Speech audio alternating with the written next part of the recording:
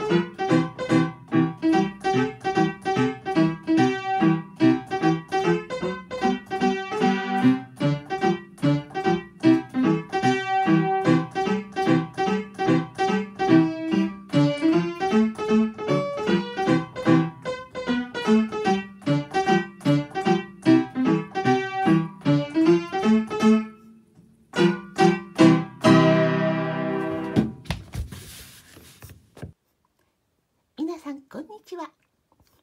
昨日もとっても愉快なレッスンでした。